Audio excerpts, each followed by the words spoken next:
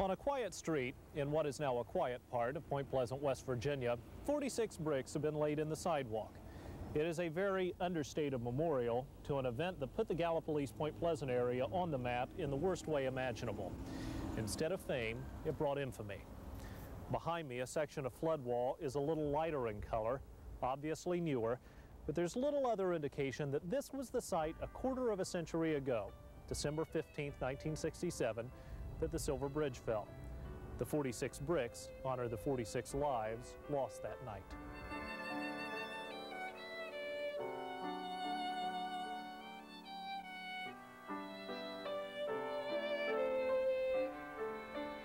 Bigger cities have broader shoulders. But a disaster of this magnitude is almost more weight than hometown communities like Point Pleasant, West Virginia and Gallipolis, Ohio can bear. Just about anyone who lived in the area at the time knew someone lost on the bridge. Tonight, we'll look back at a moment now frozen in history through the eyes of those that remember it best.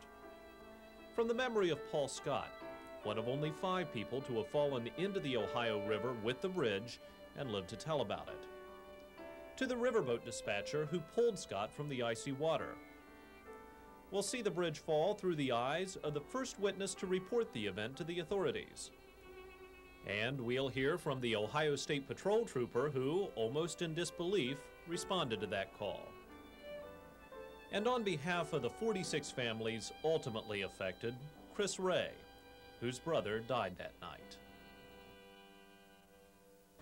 I myself lived in Point Pleasant in December of 1967, and though very young, I vividly remember that night. In fact, my brother was headed to a church function in Gallipolis, and the family friend who came to pick him up had just crossed the Silver Bridge. She was waiting here at a stoplight on the West Virginia side. As she waited for it to turn green, the bridge collapsed behind her. This intersection vividly demonstrates just how much things have changed since December 15, 1967, it was once the busiest place in town. The collapse of the Silver Bridge so completely altered the fabric of these two communities that any date after December 15, 1967 could be called simply after the bridge fell.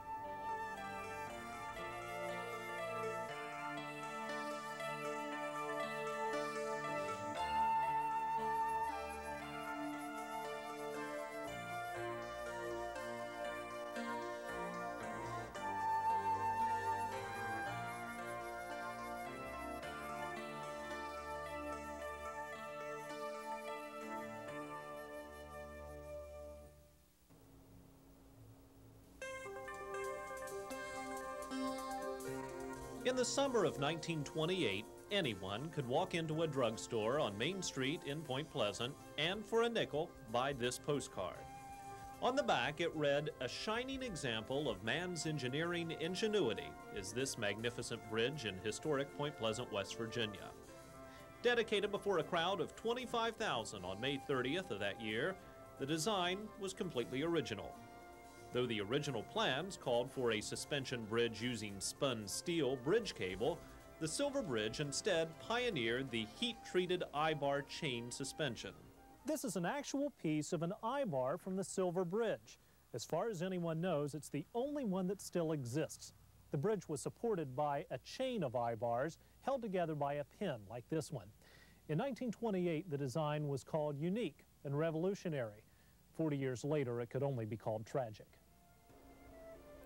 It was never officially named the Silver Bridge. The Ohio River Bridge got that nickname because it was painted with aluminum paint, another first. The nickname stuck, and no one ever called it anything else. It was in many ways a gateway to the southeast. It spanned the Ohio River for the primary north-south corridor at that time. For some, the bridge was almost a work of engineering art, all gleaming silver paint and graceful curves. Others thought little of it, concerned more with the condition of the Shadle Bridge a few hundred yards south or the dilapidated railroad bridge just upriver. I thought it was a good bridge. I never thought anything about it. I, uh, I worried about a bridge it was the, was the bridges on the railroad. They were pretty rusted, and that one next to it. I worried about it because we went over it a lot of times, you know, uh, all the trains crossed that bridge out at Point Pleasant. And you just look at it today, and you don't wonder how it's ever standing there. But still others found the Silver Bridge to be disturbing. Many thought the constant quivering and 40 year old rusting steel a tragedy waiting to happen. For Chris Ray, a trip to Point Pleasant on December 2nd of 1967 turned out to be an eerie omen. Her brother was driving as they crossed the bridge into town, his young wife beside him in the front seat. She hit her face and his shoulder when we crossed the Silver Bridge, and he said, she's scared to death of this bridge. And I said, why? And she said, I'm just afraid it's going to fall. And he said, I, I keep trying to tell her this bridge is going to be here a long time after we're gone. And it just, you know, that was 13 days before the bridge fell, and he was on it.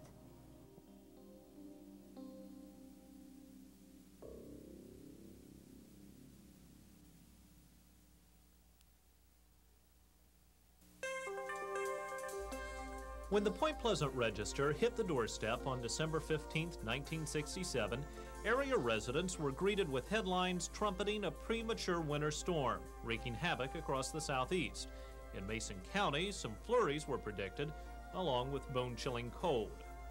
The Rotary Club would be out that night, the paper said, raising money to buy holiday baskets for the needy. A young Kanawha County delegate named Jay Rockefeller was slated to speak before a gathering of young Democrats at the county courthouse. The most serious news of the day was happening halfway around the world. No one could have imagined that the top story the next day, headlining the front page of newspapers the world over, would unfold three blocks from the Point Pleasant Register office. On the day that the bridge fell, I was um, waiting on my brother to come pick me up. We were going to take my daughter over to Point Pleasant to get her picture taken. Well, he came over to pick me up, and she had went to sleep, which she never takes a nap, but she went to sleep that day, so I told him I'd have to catch him later, and then he went on without me. Dickie Maxwell was a 20-year-old Gallup policeman, married only six months, his wife waiting at home while he took an hour or so to pick up a Christmas present in Point Pleasant. He loved his family. He was just a good guy. He cared about people very compassionate person. At four minutes until five, the bridge was filled, bumper to bumper, with rush hour traffic. A long string of cars stretched toward the center of the bridge in the westbound lane, backed up by a traffic light on the Ohio end of the bridge. More than 60 people huddling in their cars from the cold outside, the icy water below. It was extremely cold. In fact, uh, that evening when it happened, the, the temperature was 28 degrees and the traffic uh, conditions at that hour was heavy due to holiday traffic, and we also had uh, a lot of people on the bridge from the Goodyear plant. The timing couldn't have been worse. Holiday shoppers mingled with commuters from area plants, truckers hauling goods from the south, dump trucks loaded with gravel. High school basketball teams warmed up in the Point Pleasant High School gymnasium. Dickie Maxwell was stopped toward the end of the line of traffic headed toward Gallipolis. He may have rushed the light on the West Virginia side to be there. He was coming back that evening to put Christmas lights up around the house, and um, needless to say, they didn't get put up. Maxwell delivered newspapers for the Huntington Herald Dispatch, newspapers that for months would be filled with accounts of an event that would soon take his life. Just a few cars ahead, Paul Scott waited in line with co-workers Fred Miller and James Pullen, railroad workers on the way home from the rail yards at Institute. It was it was just a routine day coming home from work. Wondering what my wife's going to have for supper, which she had a ham in an oven, and I didn't know it, of course, but just glad to get home from work, and we didn't quite make it. The few that survived the next few moments all say conversation turned to the bridge itself by that time beginning to shake. We stopped behind the traffic in the middle of the center of the bridge. And had a couple or three bull stations, not too long, just talking, having a conversation like three railroad men would do. And the bridge began to shaking pretty strong, and we got to talking about that. At about that time, a worker at the City Ice and Fuel boat dock along the West Virginia riverbank became bored waiting for a boat to arrive. He had a perfect view of the Silver Bridge, so in his boredom, he began to slowly count the cars. Meanwhile, a few feet away, his manager was about ready to call it a day. I was getting ready to go home, and uh, and we were just sitting there, and, uh, and that, that one fellow happened to be at the window. He'd been counting the cars on the bridge, he said. From the back seat of one of those cars, Paul Scott began to tell his friends a story to settle their nerves and his over the bridge now shaking violently beneath them. You know the building and highest building in Columbus was AIU building. That's what they called it when I was a kid. Now it's some other name. Uh, they was talking about the bridge shaking, and I said, "Well, you don't have to worry about that." I said, "That AIU building in Columbus." I said, "That top of that sways as much as three or four feet. If if it didn't sway, if it didn't give, I said, it's going to bust. It's got to give." The bridge always shook, but not like this. Above their heads, eyebar joint C-13 was falling apart. Forty years of traffic, the elements, and neglect had taken their toll. The eyelet snapped, and the rest was a chain reaction.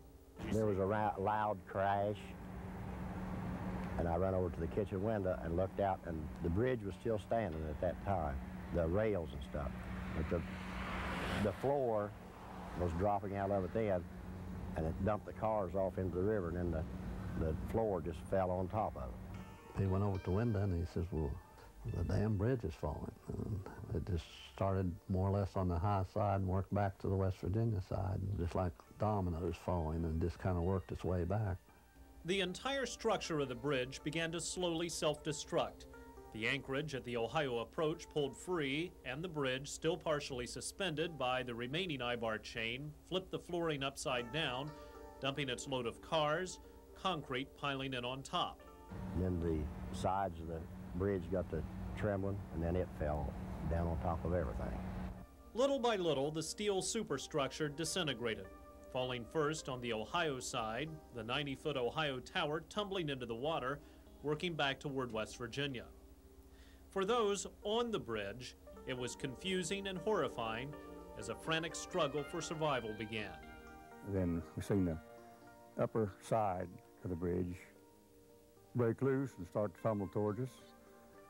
That's when I thought I could fly, took out the back door and set off for West Virginia. Got about a car uh, length behind our car and she went down. Paul Scott's first thought was to run. So when a front seat passenger opened a door, Scott ran for his life. Fred Miller, who'd opened the door, apparently to run himself, changed his mind, got back in the car, and with the driver, James Pullen, went down with the bridge. Scott didn't run far. As he felt the bridge collapse below him, he simply held on. Grabbed of that railing and hanged on through the air. I could feel myself going through space, hanging on that railing, and wondered how I was going to climb back up on the bridge, but then I hit the water. His first thought was how to position himself as he fell to climb back onto a bridge that no longer existed. Instinct, though, told him to swim away from the falling debris. As the floor of the bridge flipped over, it had thrown Scott clear on the opposite side from where he'd been standing. I tried to swim away from our bridge, but decided I better try to get to the top where I get some air. And when I come up, well, I was about 100 yards south of that bridge. Struggling in 32 degree water, hands too cold to feel, gasping for air, it looked as if Scott had survived the worst bridge disaster in modern history, only to be claimed by the Ohio River. You, just almost helpless, almost helpless. You couldn't see much hope. I thought I was gone. At the City Ice and Fuel dock, Bill McCormick and his staff stood stunned, trying to determine what to do next. When we saw what had happened, I, I said, well, we better get out and see if we can, anybody in the water. As the men set out in a small motorboat, huge waves from the collapse of the bridge hit them, nearly spilling one man into the water he went on the outside there, and I didn't know what had happened, whether he'd fallen in the water or what. But uh, then he came on and said, well, let's go. Paul Scott had grown up along the river. The swimming skills he developed as a child now kept him above water in the crisis of his life. I for help. Looked at the bank, thought I'd try to swim to the bank, and decided that if I did, it'd have to be a catty corn. It'd have to be swim down the river and go into a gradual. Then I looked across the river and I seen a boat coming my direction. And after I found a bale of rubber or something and hung on to it till it got over and picked us up. Four other men had also somehow bobbed to the surface. Around them were various items floating in the water, including Christmas presents from the now submerged cars of holiday shoppers. We started on the more or less on the West Virginia side and picked up the two, and then we worked out a little toward the middle of the river and picked up the other fellow, and then uh, the last one, Howard Boggs, was more or less on the high side. His car had been almost across the bridge there on the high side. McCormick's boat pulled in four. Another City Ice and Fuel boat rescued one other. A truck driver from North Carolina, holding on to his semi trailer, kept afloat by its load of mattresses. They were the only five people to go into the river and survive. The collapse itself had taken about 45 seconds. The rescue from the water only minutes. But the most painful part of the story had just begun.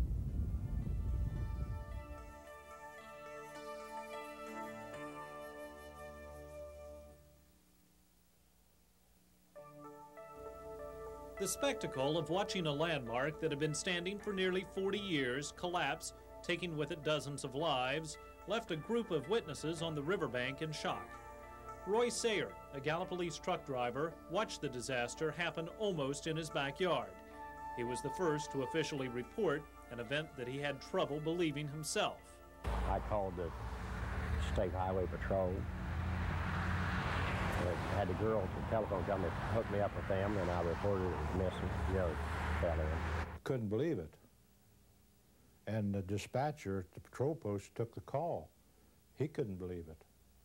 And uh, one of the crazy things that happened that night, after they uh, called me, I uh, had my uh, wife to try to call out some of our highway patrol auxiliarymen that are made up of Legion members, American Legion members, and the phone was dead, just like those lines were open.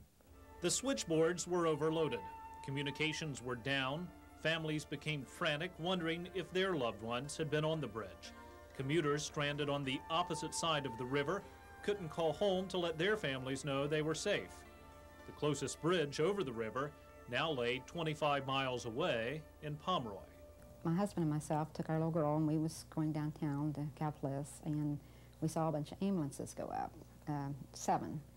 And we decided to see what was going on. And I got up there and, and saw what was going on. And of course I was scared because I didn't know where all my family, I didn't know if any of my family was on it or anything. She soon learned that Dickie Maxwell hadn't made it home from Point Pleasant. We immediately went to Point Pleasant, uh, come up through Pomeroy, and went to uh, Point Pleasant to look for him. We couldn't find him. We went into the store that, that he was supposed to pick up a layaway at, and uh, they said he had been there and he had picked up the layaway. So all we could do was go back home and wait to hear something. It was a similar story for countless others. As phones began to sporadically work again, rescue officials were inundated with calls literally from around the world. People were calling us all during the night, even from England, trying to get the information on this bridge. We got calls actually from England. On the Ohio riverbank, the Silver Bridge approach spanned over dry ground for several hundred feet before reaching the river. State Patrol Sergeant Carl Boggs headed a team of rescuers sifting through tangled wreckage for survivors, whisking the injured away to local hospitals. By that time, Paul Scott had already been taken to Pleasant Valley Hospital in Point Pleasant. My daughter was uh, going to get married on the 30th of December. And of course, I was supposed to walk her down that aisle, and I didn't know whether I was going to be here or not. You see, I didn't know whether I was going to make it or not even after I got to the hospital because I didn't know what was wrong with me. I didn't know whether my back was broke or everything felt like everything was broke. It's a cold. And there's no way knowing whether I was going to come out of there then or not. Because I made the the girl taking care of me while I was waiting on the doctor, I made her take down a lot of information in case I didn't live very long, who was in that car, and I made her write it down. In the hours, days, and weeks that followed, a massive recovery effort was underway. Traffic had begun to back up, and a crowd gathered as anxious families and the curious converged on the spot where the bridge used to be. A command center was set up here at the Mason County Courthouse the county's 49 member civil defense unit snapped into action. Communications were set up first, and if necessary, the unit was capable of setting up a 200 bed hospital complete with x-ray equipment and two operating rooms, all within hours from a packaged disaster hospital. It wasn't necessary. Half a block away at the Trinity Methodist Church, a canteen was set up to feed the workers. My mother was a volunteer here that night. She spoke of how out on the river, a crane was dredging the bottom for cars. As it brought each car to the surface, it let out an eerie whistle that could be heard throughout the valley. Divers went about the grim task of locating cars underwater, tying buoys to mark the spot for the crane to dredge. Morgues were set up at the National Guard Armory in Point Pleasant and Grace United Methodist Church in Gallipolis. Most of the bodies were recovered within a few days, while family members kept watch on the riverbank.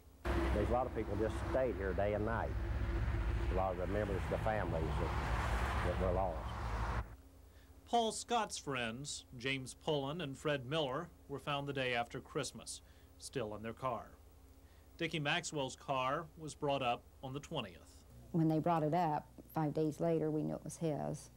Um, he lived next door to a woman that was also on the bridge, and they found her the same day. Um, they were also at the same funeral home and buried the same day.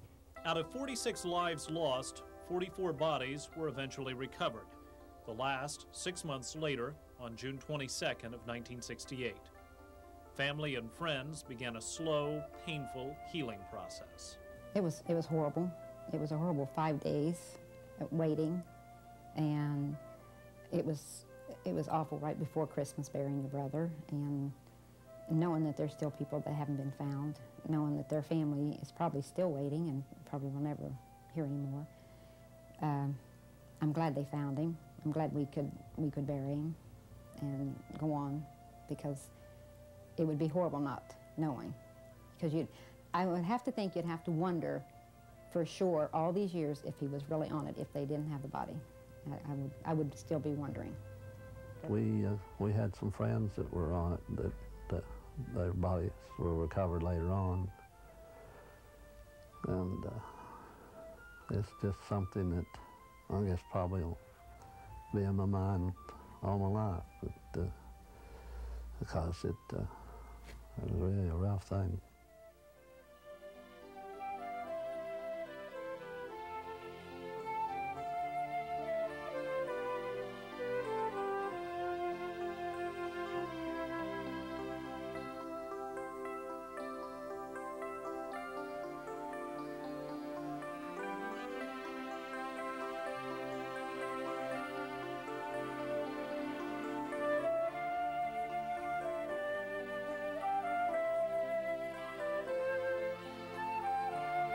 It's hard to believe how time can hide the scars of a tragedy like this. The years can turn this into this. It's a field now, but it was once the Ohio approach to the Silver Bridge. After the bridge fell, some proposed keeping the approach as a memorial. However, it was later decided that the area would be better served without such an obvious constant reminder of an event that many would just as soon forget. It's, it's almost impossible to believe that that bridge went across there where it did. I, we come across there every week, come into the Route 7 off of 35 every week, and uh, we go down there a lot, me and Jenny, but it, it's almost impossible that that bridge was ever there. It looks like everything is gone and grown up different and everything. At that time, this road here was was just blanketed with traffic coming and going. This is a north, main north, north-south route, you know. As 1967 gave way to 1968, highway officials began dealing with the loss of a key component of that north-south highway. A task force was formed, and on February 7th, President Lyndon Johnson announced that a replacement bridge would be finished in half the normal time. The promise was kept. They went down south and found a bridge down there would meet this particular span that they needed, which was a four-lane bridge. And they started to build it real quick. They cut out a lot of red tape and they opened and dedicated the new four-lane silver bridge exactly two years from the day it fell, which was December 15, 1969, when it opened. It was named the Silver Memorial Bridge. From the wreckage of the old Silver Bridge, a legacy began to grow. I was guilty over the years about the two buddies. And here I am, working, having a good time, doing what they like to do. But in the later years, it kind of left me because I look back and there was 46 people lost their lives. And due to them losing their lives, they've been not only in the state of Ohio or West Virginia, but there's been thousands and thousands of lives saved due to the somebody getting on the ball and fixing up these bridges. Now, they've done a pretty good job of it. State of Ohio has, and these other states probably has too. And of course, that's of left me. I don't feel so guilty because I know a lot of these babies out here today's living because then people lost their lives. That's the way I feel about it. I agree with that. I agree because they all need to be inspected. I mean, anything that has that much traffic on it should be inspected regularly for safety. I mean, that's that's goes without saying. I mean, we lost 46 people, you know. Bridges were inspected more carefully from that point on. A sister to the Silver Bridge near Marietta, also constructed with eyebar chain suspension techniques, was promptly closed and dismantled. The business district of Point Pleasant was changed forever. The new bridge was constructed downstream on the other side of the mouth of the Kanawha River. The town's economy was seriously damaged as the constant stream of traffic no longer flowed through downtown. For Paul Scott, bittersweet memories are kept in a scrapbook. Amazingly, he'd suffered only scratches and bruises in the collapse of the bridge. Two weeks later, he walked his daughter down the aisle. And every year, on December 15th, his wife serves ham, remembering a similar meal 25 years ago that he never made it home for. It makes you feel good that you did were able to save some that survived. And in fact, uh, Frank Wamsley that lived here in town, he, he passed away a year or two ago. And, uh, but uh, but he had some years that he wouldn't have otherwise had if he hadn't have survived the bridge. Of the 64 people in 31 cars at the time of the disaster, only two never came home. One body yet to be recovered is that of a 10-year-old Ordnance Elementary school student. The thing in my career that really bothered me more than anything else is seeing children killed in automobile accidents or maimed in any way. That's really what affected my heart more than anything else. Of the 46 lives lost that night, six were under the age of 14. It's an event now committed to time and memory. But years later, most local residents can remember clearly where they were and what they were doing the day the bridge fell. Every time I cross a bridge, I think about it. Every year at Christmas time, I think about it because we buried him two days before Christmas. And you have to think about it. It just, it, it dampens your spirits for Christmas, but it gets easier every year. But it's, it's been 25 years and it, it's still there, you know, you still remember. One year after the Silver Bridge tragedy, the Point Pleasant Register published this retrospective, The Scar is Healing. It spoke poignantly of the horrible cost of that night and the new era that lay ahead. Now, 25 years into that era, there's no question that the wound of December 15, 1967 has healed, but a scar will remain forever. I'm Brad Harvey. Thanks for joining us. Good night.